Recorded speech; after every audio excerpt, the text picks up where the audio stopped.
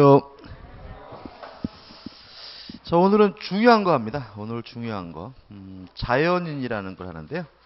1항 해가지고, 권리 능력 해가지고, 3조가 나와 있죠. 이렇게 나와 있어요. 사람은 생존하는 동안 권리와 의무의 주체가 된다 해가지고 나와 있고요. 어, 잠깐만요. 음, 여기서 좀 먼저 좀 생각해 볼게요. 네, 용어를 좀 정리해 볼게요. 자, 우리가 이제 앞으로 공부하면서 어, 권리 능력이라는 말을 아, 많이 이제 쓰게 돼요. 권리 능력이라는 말을 뒤에 설명이 나와 있는데 먼저 간단히 설명드리면 권리 능력이라는 것은 권리를 보유할 수 있는 능력, 권리를 가질 수 있는 능력을 권리 능력이라고 하고요. 이 권리 능력은 누구에게 있냐면 자연인에게 있어요. 자연인하고 법인에게 있습니다. 어, 자연인은 우리가 흔히 말하는 인간을 말합니다. 그죠? 그래서 사람하고 법인만이 권리를 가질 수 있어요. 그 외에는 어떤 존재도 권리를 가질 수가 없습니다. 뭐 물건 당연히 권리를 가질 수 없고요. 우리가 또 다음 주에 할 테지만 조합이라는 것도 나오는데 조합도 권리 능력 가질 수 없고요. 또 권리 능력 없는 사단 말 그대로 권리 능력이 없으니까 권리를 어떻게 해요? 가질 수 없어요. 그래서 권리는 누구만요? 자연인과 법인만이 가질 수가 있습니다. 자, 근데 이제 오늘 이제 요 자연인을 하는데 요 자연인에 관련돼 가지고 또 의사 능력이라는 개념도 알아야 돼요. 의사 능력이라는 말은 스스로 의사를 결정할 수 있는 능력을 말합니다. 아, 만약에 이러한 능력이 결여가 됐어요. 없다면 이 사람 우리가 의사 무능력자라고 하고요. 의사 무능력자가 만약에 법률 행위라면 그 행위는 무효가 됩니다. 자, 그러면 스스로 의사를 결정할 수 있는 능력이 의사 능력이고 그게 결여되어 있으면 뭐죠? 의사 무능력이에요. 그럼 뭐가 있느냐? 예를 들어서 저를 생각해 보면 저는 사람입니다. 자연인이죠. 따라서 저는 뭐가 있어요? 권리 능력이 있는데 술을요 이빠이 처먹었어요. 이빠이 처먹어가지고 완전히 떡이 돼가지고 막 무릎 꿇고 변기 잡고 기도하고 있고 뭐죠 먹은 거 막 확인하고 있고 막 이런 상태라면 사람이긴 하지만 저는 스스로 의사를 결정할 능력은 없으니까 만취자인 저는 뭐가 되는 거죠? 의사 무능력자가 되는 거죠. 세 살 먹은 꼬마가 있어요. 세 살 먹은 꼬마에도 사람이니까 뭐는 있어요? 권리 능력은 있는데 요 세 살 먹은 꼬마가 스스로 의사를 결정할 수는 없겠죠. 따라서 유아, 젖먹이, 어린아이 이런 애는 뭐죠? 정, 어, 의사 무능력자가 되고요. 또 뭐가 있을까요? 많습니다. 뭐 정신병자 이런 사람. 또 가장 대표적인 것이 어, 수면 중인 자. 수면 중인 자. 제가 오늘 오면서 이제 버스를 탔는데 제가 오늘은 그 뭐죠? 원래 우리 2시에 있잖아요 일요일 날이요. 그래가지고 2시에 올 때하고 똑같이 버스를 탔거든요. 근데 이제 11시 50분 차를 탔는데 1시 한 40분 정도 그러니까는 뭐 보통 한 12시 아 1시 한 40분 되면 대전청사에서 내리거든요. 그래서 제가 잠을 뭐 이빠이 잤어요. 근데 딱 깨보니까는 어 이게 도착도 안 했고 도착도 안 했고 아직도 막 청주를 지나고 있더라고요. 아무튼 제가 자빠져 자고 있으면요. 사람이니까 뭐는 있어요? 권리 능력은 있지만 자고 있는 제가 스스로 뭐 할 수는 없어요? 의사를 결정할 수 없으니까 수면 중인 자도 뭐가 되죠? 의사 무능력자가 되는 거죠. 그럼 여기서 이제 문제가 생깁니다. 자, 의사 무능력자가 법률행위라면 무효라는 말은 매매 계약을 하더라도 무효라는 말이고 무효라는 말은 결국 뭐예요? 이행할 필요가 없고 이행하지 않더라도 책임질 필요가 없다라는 얘기가 되거든요. 그러면 만취 상태에서 제가 매매 계약을 했어요. 그럼 그 매매 계약은 뭐죠? 무효니까 다음날 제가 술을 깨더라도 그 만취 상태에서 한 매매 계약에 대해서 뭐 할 필요 없는 거죠? 책임질 필요는 없는 거죠. 그죠? 그럼 여기서 이제 의사 무능력자와 책임 무능력자는 같은 말이 된다는 걸 우리가 알 수가 있죠. 그죠? 그죠? 다시 한번 만취자입니다. 만취자가 매매 계약을 하면 만취자의 매매 계약은 의사 무능력자 행위니까 그 매매 계약은 뭐가 돼요? 무효가 되고 이행할 필요도 없고 뭐 할 필요 없어요? 책임질 필요도 없으니까 결국은 의사 무능력자와 책임 무능력자는 같은 말이 돼요. 그래서 이제 우리가 몇 년 전에 기억나시나요? 그 어떤 미친놈이 꼬마아이를 성추행했어요. 그죠? 근데 법원에서 술을 먹고 했다는 이유로 감형을 해줬죠. 그래가지고 막 얼- 여론에서 뭐죠? 술 처먹고 했으면 더 나쁜 놈이지 어떻게 그거를 감형해 줄 수가 있냐 막, 막 난리나고 막 그랬잖아요. 그럼 그 감형해 주는 이유가 뭐냐? 만약에 걔가 완전한 만취 상태에서 꼬마아이를 성추행했다면요. 무죄입니다. 무죄. 자기 행위에 대해서 뭘 안 지니까 책임을 안 지니까요. 다만 완전히 만취 상태가 아니라면 간당간당하고 있는 상태라면 책임이 어떻게 해요? 감경되기 때문에 형량을 뭐 할 수 있는 기준이 되는 거예요? 감경할 수 있는 기준이 되는 거예요. 이해되시나요? 그죠? 근데 그게 우리의 그 일반적 정서와는 뭐죠? 상이하죠. 그죠? 우리는 술 먹고 행동을 하면 더 나쁜 놈이죠. 어떻게 그거를 술 처먹고 했다 그래서 어떻게? 깎아줄 수 있느냐. 이런 의식인데 어, 여기서부터 논, 논점이 뭐죠? 시작되는 거죠. 남자분들이 또 그런 거 있죠. 술 먹고 이제 옆 테이블하고 시비가 붙어가지고 싸움이 붙었어요. 그럼 경찰서에 끌려가면 경찰관이 꼭 물어봅니다.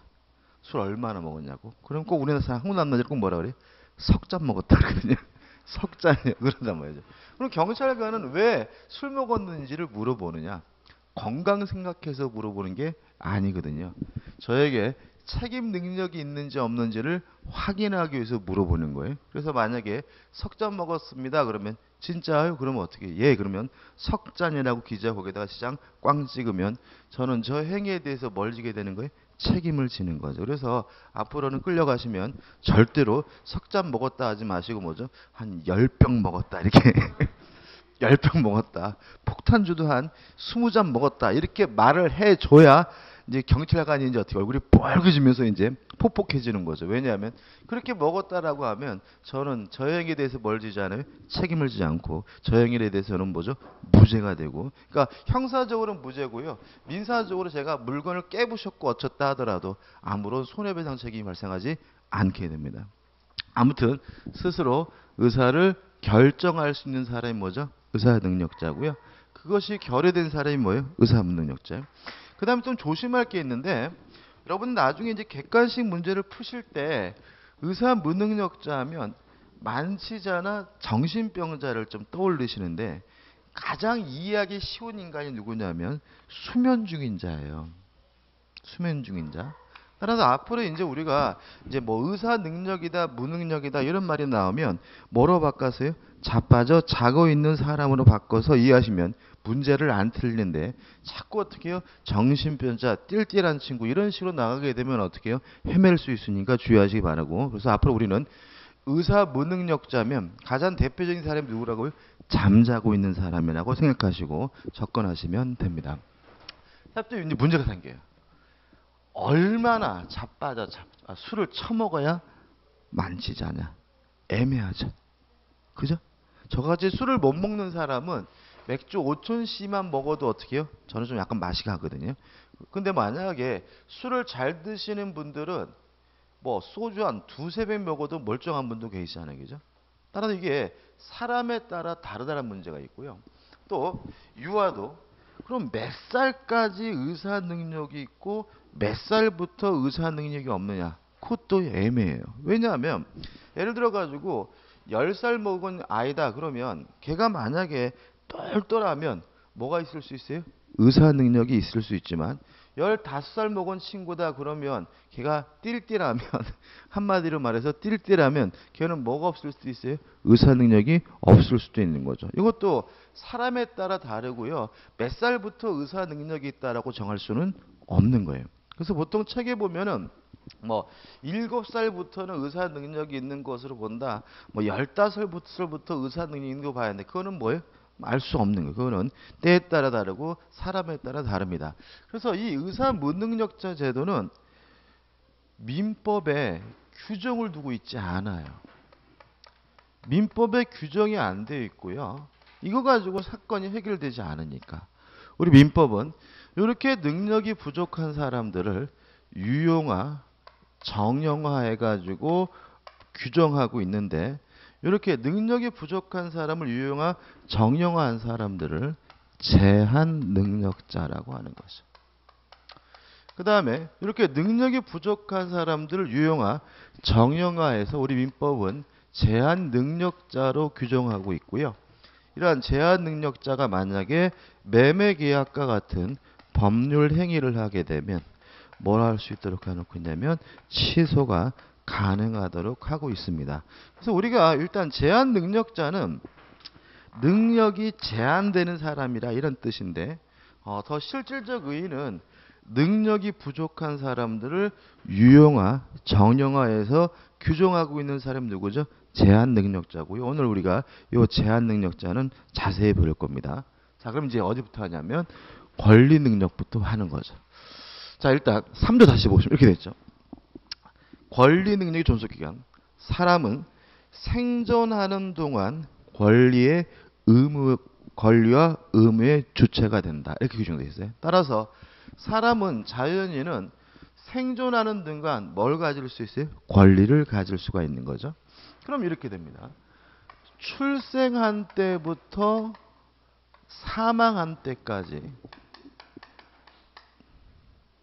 사람은 자연인은 뭘 가질 수 있어요? 권리 능력을 가질 수가 있죠. 그럼 이제 문제가 생기 두 가지인데 언제 출생한 것으로 봐야 되느냐? 이 문제가 첫 번째. 출생하면 권리 능력이 생기잖아요. 근데 사람이라는 게 하나 둘 셋 짠하고 태어나는 게 아니잖아요. 그죠?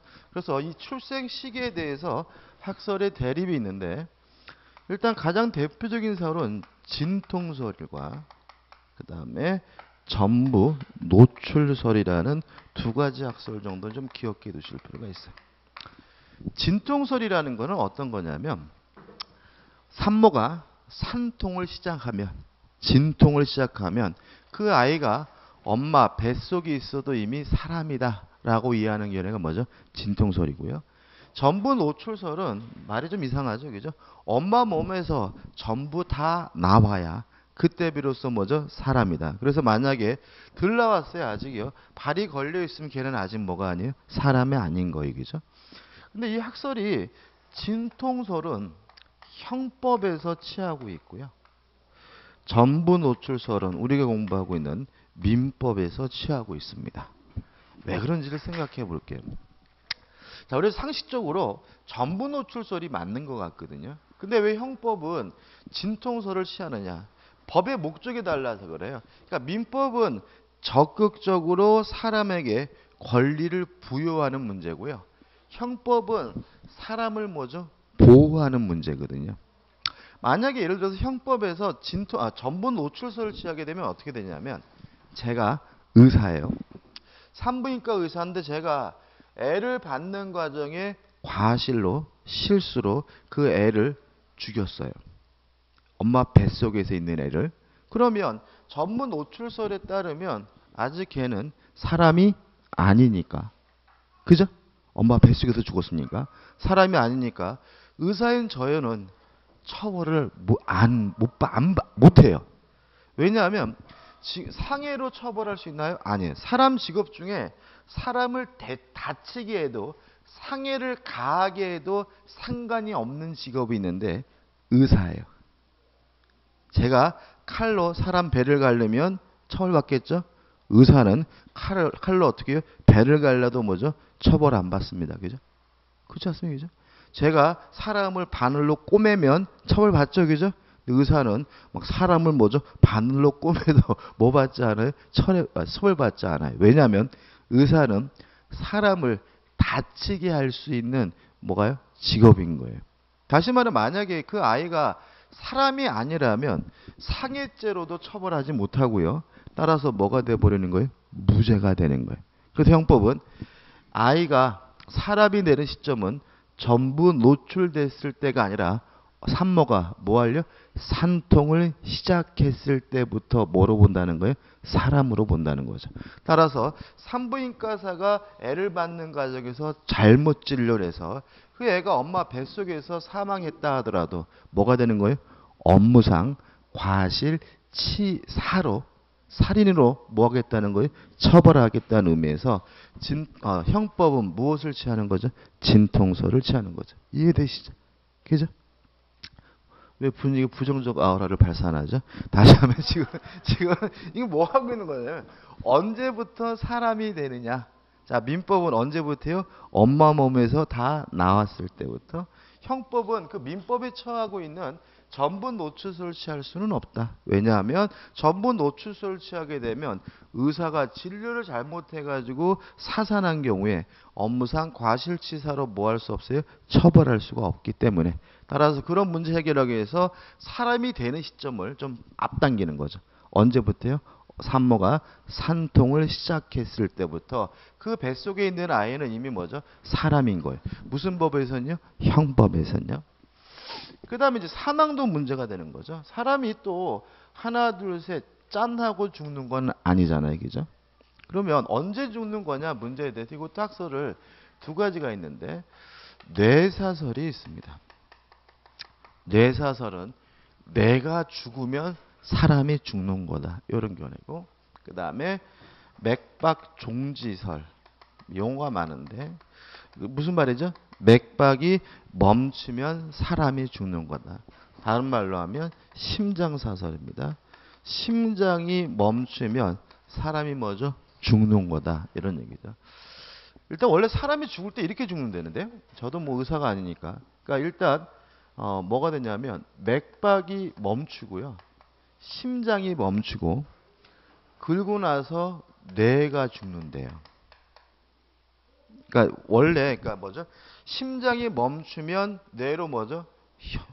뭐 뇌로 혈류 피가 안 도니까 그 다음에 이제 뭐가 죽는 거죠? 뇌가 어떻게 요 천천히 천천히 죽는다 그러더라고요. 10분 시간적으로 한 20분 정도 차이가 있대요. 그래서 아, 심장이 멈췄다 하더라도 한 20분 정도는 사람이 뭐죠? 의식이 있는 상태가 유지가 될 수 있고요.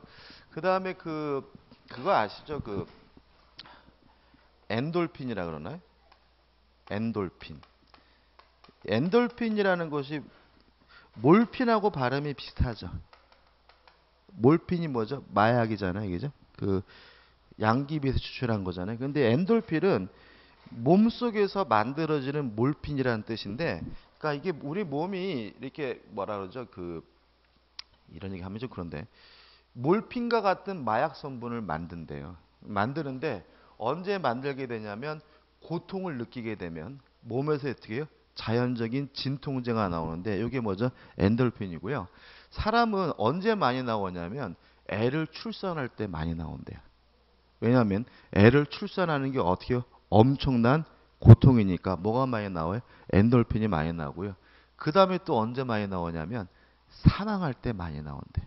그래서 사람이 만약에 죽게 되면 모든 신체 기관은 오로지 뭐만 생산하냐면요. 엔돌핀만 생산하는데 그래서 사망할 때는 의외로 어, 고통스럽지 않고요. 행복하다 그러더라고요. 그래가지고 이렇게 막목 졸르는 거 좋아하는 사람이 있죠, 그죠? 변태들 중에, 그죠? 그런 게 왜 그러냐면 막 이게 죽기 직전까지 목을 찔러주면은 이게 엔돌핀이 뭐죠? 왕성하게 만들어지면서 그 마약 먹은 것 같은 효과가 있대요. 그리고 그 사형을 처할 때 이렇게 교수용을 하잖아요, 그죠? 교수용을 하면 죽은 시체들의 상태를 보면 굉장히 이렇게 평온한 상태라 그러더라고요. 왜냐하면 몸에서 뭐죠? 엔돌핀이 엄청나게 이게 뭐죠? 이렇게 나오기 때문에 그래서 심장이 멈추면서 모든 신체가 뭘 만드는 거죠? 엔돌핀을 만들면서 먼저 뇌가 깨어 있더라도 이렇게 고통스럽지는 않고요. 이렇게 뭐 평온한 상태에서 죽을 수 있다 그러더라고. 왜이 얘기 나왔죠? 아무튼 맥박이 멈추고 뭐가 죽어요? 뇌가 죽어요. 근데 문제는 이게 거꾸로인 분들이 가끔 뭐죠? 발생하죠. 그래서 뇌는 죽었는데 뭐는 뛰고 있어요? 심장은 뛰고 있어요. 그래가지고 이제 뭐가 문제가 되는 겁니까? 뇌가 죽은 경우에는 뭐죠? 장기 이식을 하기 위해서 그 사람은 뭐죠? 죽은 사람으로 처리해야 된다. 이게 뭐가 되는 거예요? 뇌사설이 되는 거죠. 이해되시나요? 자, 지금 어떤 상태냐면 자, 지금 우리 민법은 맥박 종지설을 취합니다. 따라서 심장이 멈추면 아직 내가 안 죽었다도 그, 나라도 그 사람 은 뭐예요? 사망한 거거든요. 근데 만약에 거꾸로 내가 먼저 죽었더라도 맥박, 심장이 뛰고 있다면 그 사람은 아직 뭐죠? 사망한 것이 아니니까 장기를 이식 수술할 수가 없어요. 심장을 이식 수술할 수가 없는 거죠.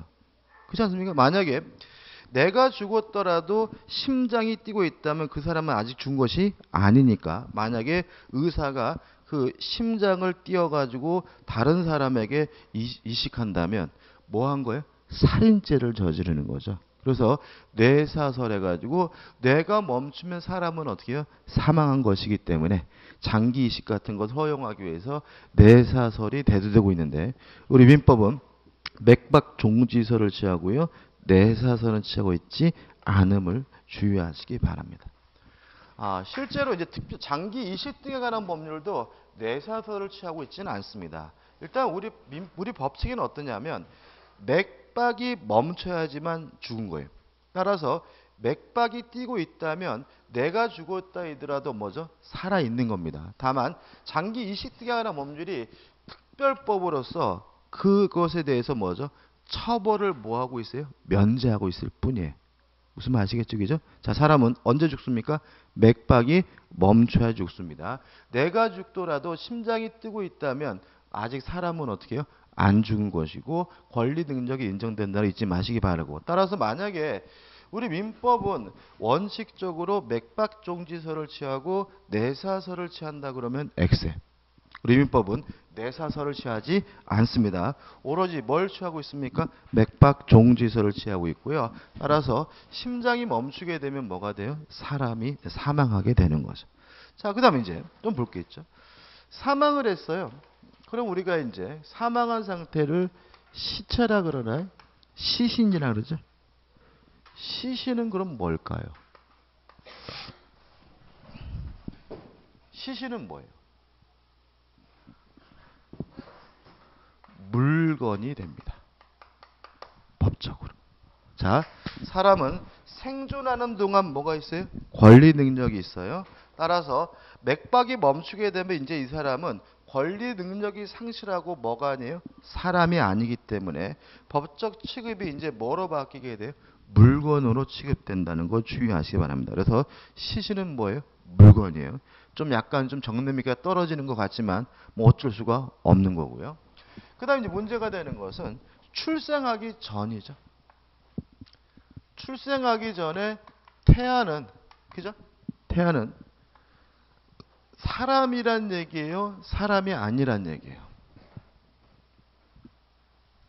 태아는 사람입니까? 사람이 아닙니까? 전부가 노출돼야 권리 능력이 생기죠? 전부가 노출돼야 사람이죠? 그러면 태아는 법적으로 사람이 아니에요. 그러면 태아는 법적으로 어떻게 취급할까요?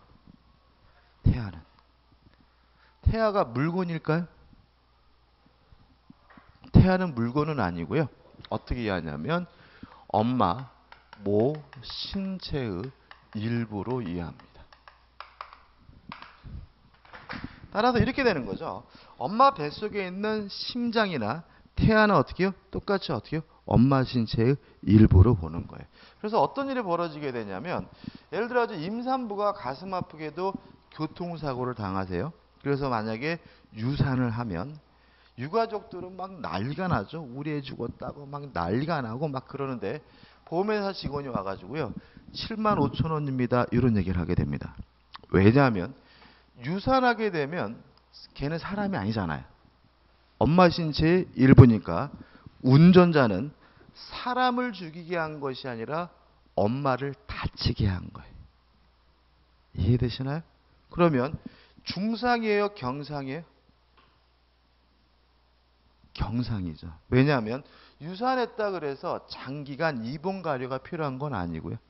유산했다 그래서 뭐 장애가 남는 것도 아니기 때문에 명백히 뭐죠? 경상이고요. 그래서 법적으로는 그냥 실업이 조금 하고 그냥 위로금 쪼여가지고 한 7만 5천 원 이 정도 줍니다. 그러면 이제 막 이제 난리가 나는 거죠. 이놈의 자식들이 우리 사, 우리 자식을 죽여놓고 막, 막 이렇게 되는데 그래서 교, 그 보험회사 보상 직원들이 임산부가 교통사고 당했다 그러면 굉장히 스트레스 받아요. 법적으로는 줄 돈이 없잖아요. 그죠? 근데 유가족들은 어떻게 정신적으로 자식이 죽었다는 인식이 있기 때문에 뭐 굉장히 뭐죠 요구 사항도 강하고요, 그죠? 인터넷 같은데 이 살인 뭐 잡아 죽어라 뭐 이런 식으로 해서 막 올리고 막 이러기 때문에 스트레스 받는데 아무튼 태아는 원칙적으로 사람이 아니고 뭐로 취급하게 돼요? 고 엄마 신체 일부로 취득합니다. 자, 그럼 여기서 이제 문제가 생기죠. 태아가 법적주의가 취약할 뿐만 아니라 태아의 보호가 너무 어떻게 해요? 소홀한 거 아니냐. 그래서 우리 교재 보시면 2번 태아의 권리 능력 해가지고 1번 태아, 태아의 권리 능력에 관한 입법주의 이런 게 나와 있어요. 그죠? 자, 이게 무슨 말이냐면 일단 뭐 스위스 민법이나 이런 나라는 일반적 보호주의 해가지고 제가 말씀드린 것처럼 이해하지 않고 태아도 일단 뭐로 보냐면 사람으로 봐요. 이에 반해서 우리 민법은 제가 말씀드린 것처럼 태아는 원칙적으로 사람이 아니에요. 원칙적으로 뭐가 없는 거죠? 권리 능력이 없는 거죠. 다만 전혀 권리 능력이 없느냐? 다시 말하면 원칙적으로 태아는 사람이 아니라 뭐로 봐요? 엄마 신체 일부로 보고 있는데 다만 예외적으로 몇 가지에 대해서는 태아에게 권리 능력을 인정하고 있는데 이러한 우리나라 같은 입법주의를 뭐라 그러냐면 개별적 보호주의라고 합니다. 아주 시험 문제 잘 나와요. 그래서 우리 민법은 어, 개별적 보호주의를 취합니다. 따라서 원칙적으로 태아에게는 뭘 인정하지 않습니까? 권리 능력을 인정하지 않고요. 개별적으로 몇 가지 사항에 대해서 뭘 인정해요? 권리 능력을 인정하게 돼요. 그래서 교재 보시면 이 태아의 권리 능력을 인정하는 민법 규정이고요. 이거는 원칙이 아니라 뭐예요? 예외적이라는 거 잊지 마시기 바라고 첫 번째 불법행위에 기한 손해배상 청구권을 인정합니다. 첫째, 불법행위를 원인으로 태아가 뭘 청구할 수 있다고요? 손해배상을 청구할 수가 있는 거죠. 예를 들어 가지고요, 어, 산모가 교통사고를 당하셨어요. 근데 다행히 유사는 안 됐는데 그 아이가 태어났고 보니까 그 교통사고로 인해서 기형아로 출생이 됐어요. 그러면 태아 상태에서도 뭐가 인정이 돼요? 불법행위로 인한 손해배상 청구권이 인정되니까 이 애가 기형아로 태어나게 되면 그 운전자에게 불법행위를 원인으로 뭘 청구할 수 있는 거예요? 손해배상을 청구할 수 있다. 이런 취지예요. 뭐 예를 들어 가지고 또 많습니다. 뭐 독일 같은 경우에는 우리나라도 비슷해요. 이제 그 뭐죠 이렇게 그 강에 패널이 유출된 거예요. 옛날에.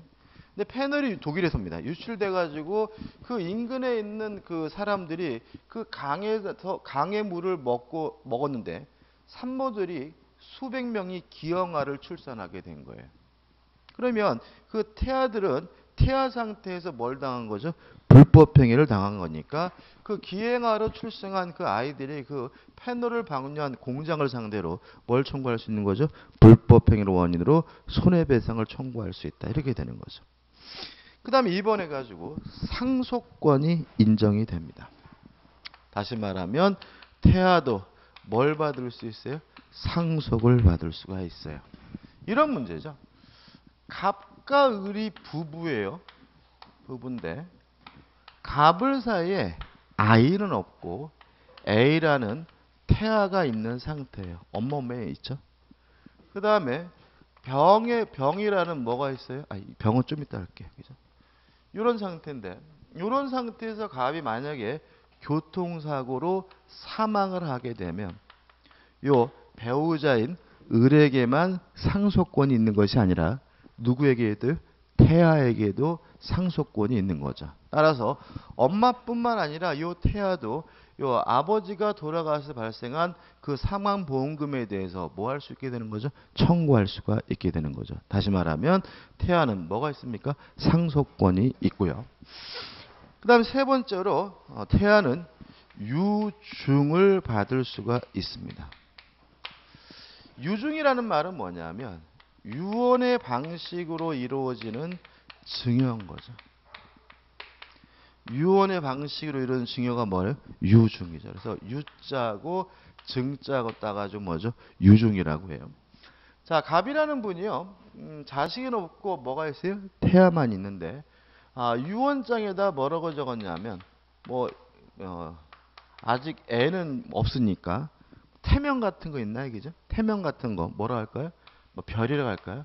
우리 별이한테 내 재산 중뭐 10억을 준다라고 유언장을 작성하고 이분이 뭐죠? 자살하셨다라고 한다면 요 태아도 뭘 받을 수 있어요? 유중을 받을 수 있기 때문에 10억을 챙길 수가 있겠죠. 아 이건 좀 그렇다 그죠? 너무 살이 해가 얘가 좀 너무 그렇다 가슴 아프고 예를 들어서 뭐 정이라는 할아버지가 계셨는데 요 할아버지가 이제 어떻게 해요? 어, 돌아가시면서 자기 아들하고 자기 며느리한테 재산이 상속되겠죠, 그죠? 근데 아직 얼굴도 못 본 이 태아 손주가 뭐죠? 규중하니까 이제 어떻게? 유언한 거죠. 우리 앞으로 태어날 손주에게 내 재산 중 10억을 땡겨줘라. 이러면 이게 뭐죠? 유중인 거고요. 유중은 태아도 뭘 받을 수 있어요? 유중을 받을 수 있기 때문에 요 할아버지가 돌아가시고 태아가 출생하게 되면 태아는 뭘 갖게 되죠? 10억 원을 갖게 되는 거죠. 다시 말하면 유중을 받을 수가 있습니다. 그 다음에 네 번째로 인지인데 인지의 대상은 될 수 있고요. 인지 청군할 수 없다는 거 좀 기억해 두시기 바라고요. 인지라는 말도 이제 우리가 앞으로 많이 나올 텐데 인지라는 말은 뭐냐면 자신의 자식임을 인정하는 것을 인지라고 합니다. 인지를 뭐라 한다고요? 자기 자신의 자식임을 인정하는 것을 인지라고 해요. 내 자식이다 이렇게 인정하는 거죠. 근데 재밌는 거는요.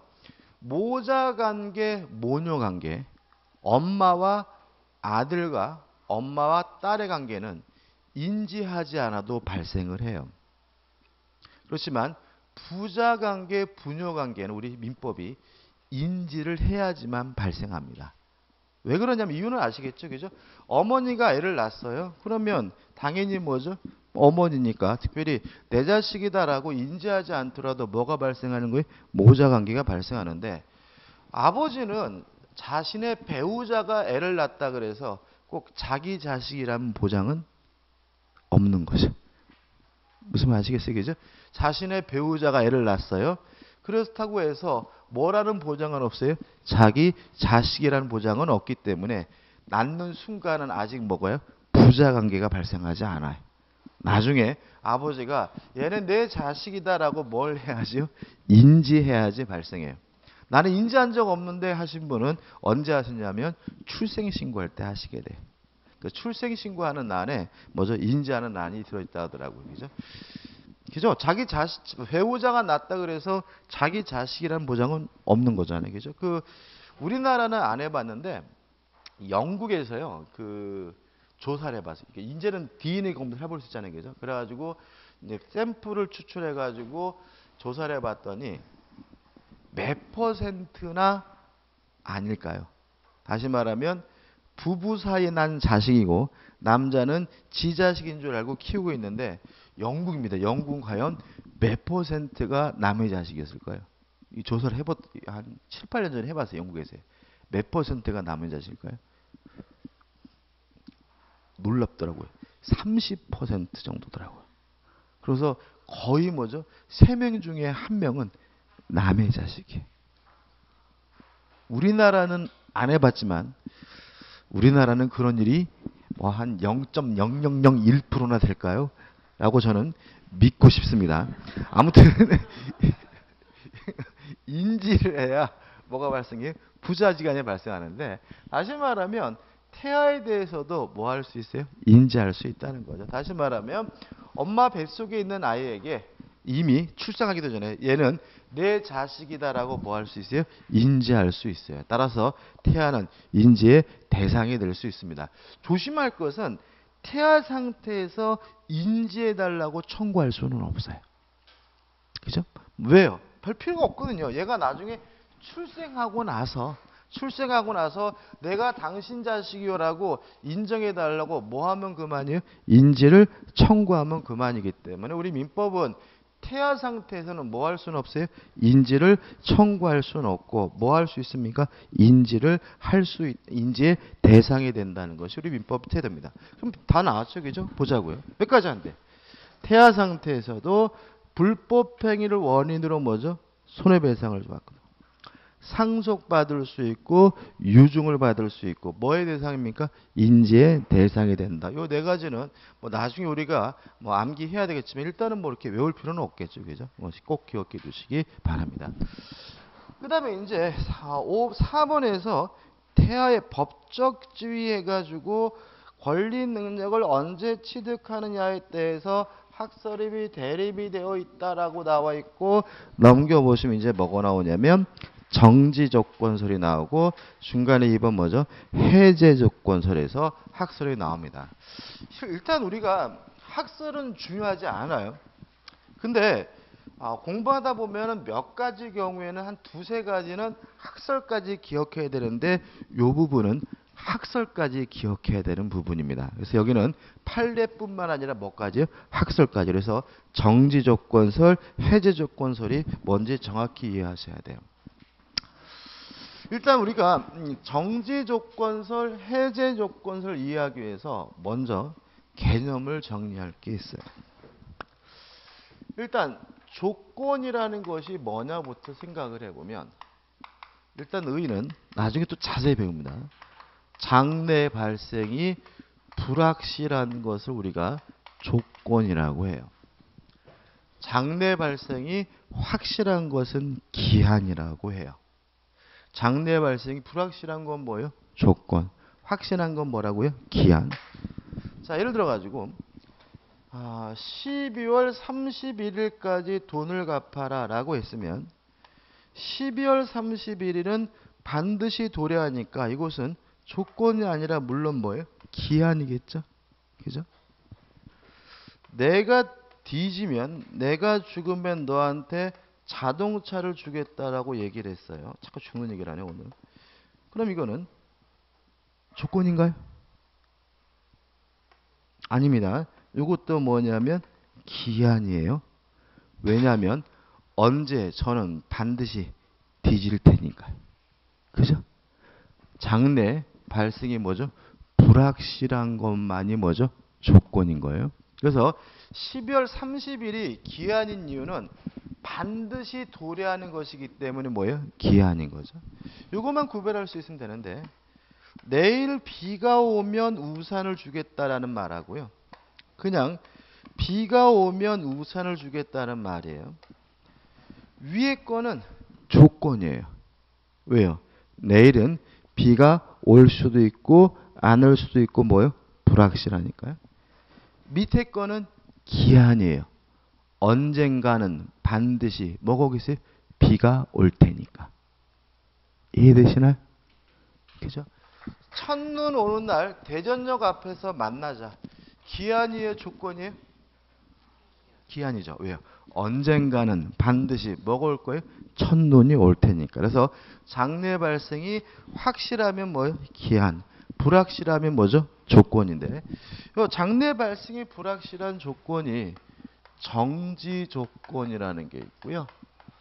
해제 조건이라는 게 있는 거예요.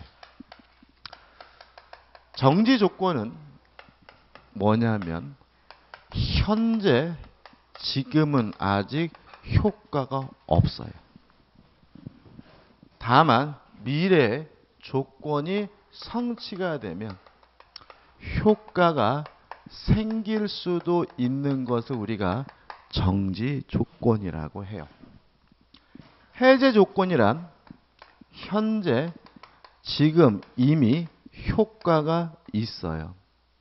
다만 미래 조건이 성취가 되면 미래의 효과가 없어지는 것을 우리가 뭐죠? 해제 조건이라고 해요. 예를 들어볼까요? 자, 이런 식으로 얘기했어요. 열심히 공부했마 자식아 너 임마 2015년도 주택관리사 시험에 합격하면 엉아가 1억 줄게라고 얘기했어요. 1억을 이게 무슨 말이죠? 어, 저주죠 저주기죠. 네 대가리가 안돼 자식아 임마. 네가 붙으면 내가 너한테 1억 줄게 라고 얘기를 한 거예요. 그죠? 그러면 합격할 수도 있고 떨어질 수도 있으니까 불확실한 것이니까 뭐예요? 조건이죠. 그러면 요거는 정지 조건이에요? 해제 조건이에요? 현재 지금 주겠다는 얘기야? 안 주겠다는 얘기? 지금은 안 주겠다는 얘기잖아요. 그죠? 따라서 이것은 뭐예요? 정지 조건인 것입니다. 그죠? 자, 네가 2015년도 공주택관리사 시험에 합격하면 1억 주겠다는 말은 현재 지금은 안 주지만 미래 네가 합격하면 그때 줄지도 모르는 거니까 이런 걸 우리가 뭐라 그래요? 정지 조건이라고 하는 거죠. 아, 분위기가 싸해지시네. 자, 그 다음에 이런 거 어떨까요? 자동차를 증여했어요.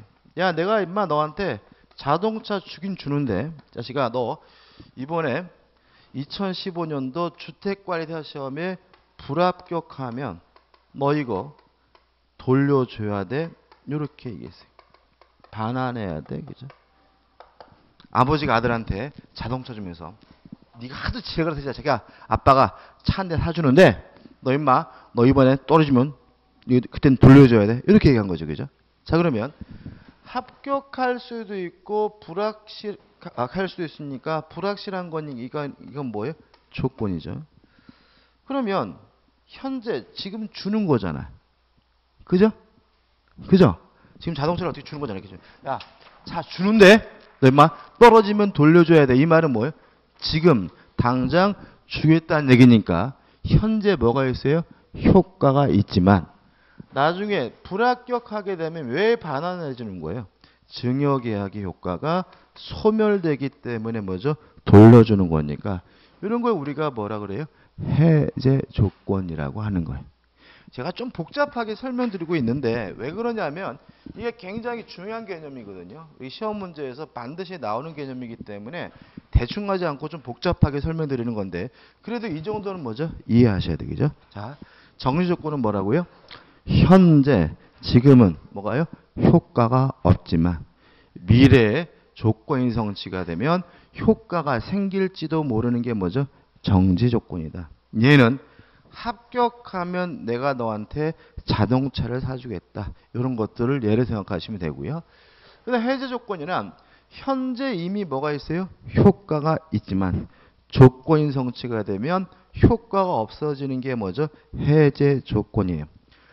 얘는 뭐가 있어요? 자동차를 주면서 불합격하면 반환받기로 하는 것이 뭐예요? 해제 조건부 법률인 거죠.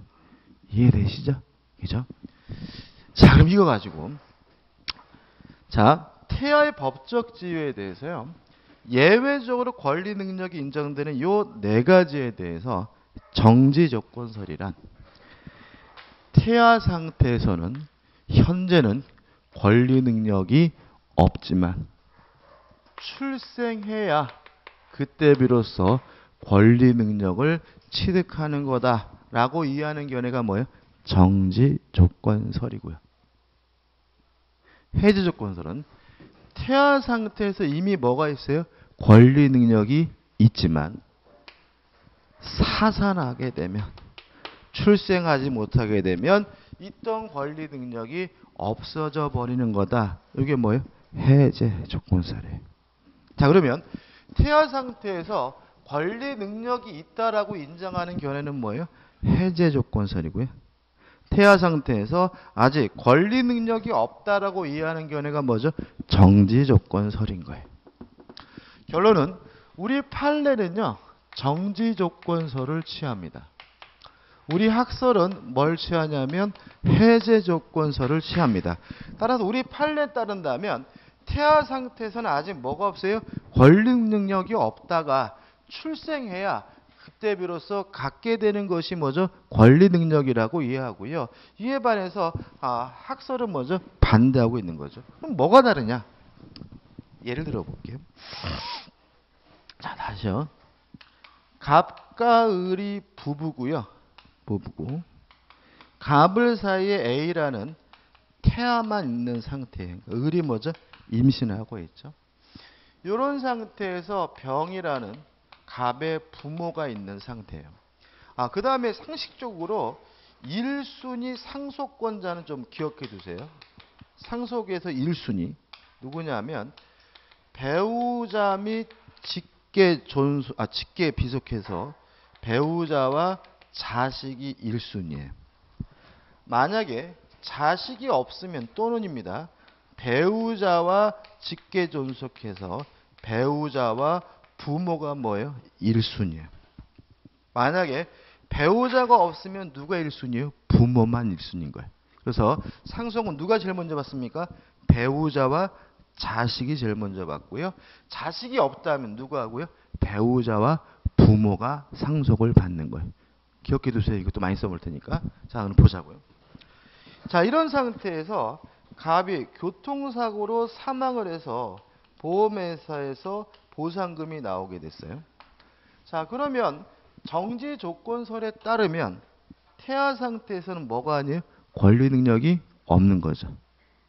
따라서 갑이 죽을 당시에 아직 뭐가 없어요?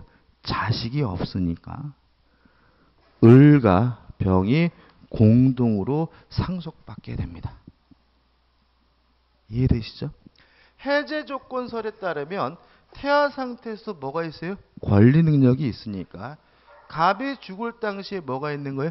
자식이 있는 거예요. 따라서 을과 A가 뭐죠? 공동으로 상속을 받습니다. 이해되시나요? 요게 차이가 생기는 거예요. 그래서 태아 상태에서 권리 능력을 인정하느냐 문제에 있어서 태아 상태에서 이미 권리 능력이 있다라고 보는 경우는 뭐죠? 정제 조건서. 왜요? 출생해야 그때 비로소 뭐죠? 권리 능력이 생기니까. 만약에 어, 태아 상태에서는 권리 능력이 이, 아, 어, 없다고 보는 게 뭐죠? 정직고서 있다고 보는 게 뭐죠? 해제권세이죠. 재밌는 말씀을 드리면 아, 재밌는 것도 아닌데 예를 들어 가지고 보통 이런 경우 이제 갑이 사망을 했어요. 그다음에 을이 뭐예요? 임신하고 있는 상태예요. 그러면 이제 누가 접근해요? 친정 엄마가 오죠. 을한테 뭐라 그래? 이년아 애 띄어 막 그러잖아요. 그죠? 이년아 그 자식 어떻게 키우려고 네가 이년아 말면서 빨리 가서 애 띄어 말면서 애비도 없는 자식 어떻게 키우려고 막 그래 막 방방 뜨잖아요. 그런 거 많지 않습니까, 그죠? 그러면 어떻게 되냐면요. 예를, 예를 만약에 사살을 시키면 태아가 없잖아요, 그죠? 그러니까는 뭐 부, 병과 을이 상속받을 뿐만 아니라 을은 상속권이 박탈됩니다. 왜냐하면 동순위 상속권자인 태아를 스스로가 뭐죠? 제거했어요. 그래서 우리 친족상속법에서 상속 지분을 늘리기 위해서 자기 같은 순위의 상속권자를 살해하는 경우에는 상속권을 먼저 박탈한다는 규정이 있거든요. 그래서 친정엄마 나서가지고 괜히 이 애를 떼어버리면 이 갑이 받아야 될 모든 재산이 다 누구한테 가버려요? 시부모한테 가버리고 을은 그냥 뭐죠? 애띤 아픔과 뭐죠? 상처만 갖고 새 출발을 해야 되는 일이 발생할 수 있기 때문에 항상 애뜰 때는 뭐죠? 신중하셔야 돼요. 신중하셔야 됩니다. 그죠? 그 애를 왜 띄는지 모르고 그리고 자꾸 보면은 특히 친정 어머니들 대부분도 많으시겠지만 자꾸 딸의 인생을 스스로 살려고 해. 딸의 인생을 스스로 살려고 하면서 딸의 것에 대해서 혼자서 어떻게 다 결정하려고 하다 보니까 마마 보유도 많지만 마마 걸도 진짜 엄청 많습니다. 세상에 이혼하겠다고 판사한테 와가지고 우리 엄마가 이혼하래요 라고 하는 사람들이 뭐죠? 우리 대한민국에 뭐죠? 세고 센 게 뭐죠? 우리나라 실정인 거죠. 아무튼 다시 한번요. 정지 조건설에 따르면 태아 상태에서 뭐가 없어요? 권리 능력이 없으므로 부모와 배우자가 뭐죠? 공동으로 상속받고요. 태아가 출생하게 되면 요 부모가 받았던 요 재산을 태아에게 돌려주는 것으로 사건을 해결하게 되는데 문제는 할머니 할아버지가 태아한테 절대로 반환해 주지 않는다는 문제가 있고요. 해제 조건서에 따르면 태아 상태에서도 뭐가 있어요? 권리 능력이 있으니까 배우자와 태아가 뭐죠? 공동으로 뭐죠? 상속을 받는데 만약에 얘가 출생하지 못하게 되면 권리 능력이 없었던 것이 되니까 병에게 그 재산을 뭐 하면 돼요? 돌려주면 되는 것이다. 따라서 태아 상태에서 권리 능력을 인정하지 않는 견해가 뭐예요? 정지 조건설이고요. 태아 상태에서 권리 능력을 인정하는 견해가 뭐죠? 해제 조건설이다라고 기억해 두시면 돼요. 다 왔습니다. 마지막으로 5번. 태아가 권리 능력을 취득하기 위한 전제 조건에서 제가 뭐라, 뭐라고 적어놨죠? 살아서 출생할 거 이렇게 적어놨죠. 이게 무슨 말이냐면 자 정지 조건도 설에 따르면 출생해야 뭐가 생겨요? 권리 능력이 생겨요. 해제 조건서도 출생하지 못하면 있었던 권리 능력이 어떻게 해요? 없어져 버려요.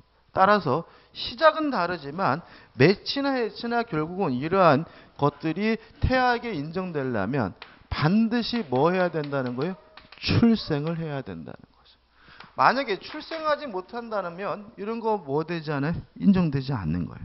그래서 아까 제가 불법행위는 손해배상 말씀드리면서 임산부가 교통사고를 당했어요. 그럼 뭐예요?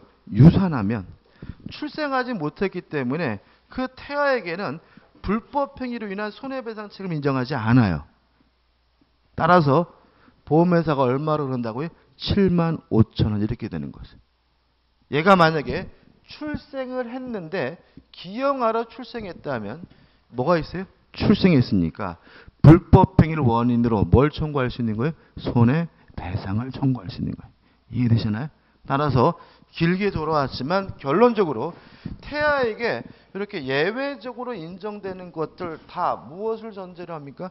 출생을 한다는 것을 전제로 합니다. 따라서 만약에 출생하지 못했다면 요 네 가지에 대해서 어떻게 해요? 전혀 학설에도 불문하고 다 뭐 되지 않습니까? 인정되지 않는다는 것까지 꼭 기억해 두시기 바랍니다. 자, 좀 쉬었다가 이제 우측에 행위 능력을 보도록 하겠습니다.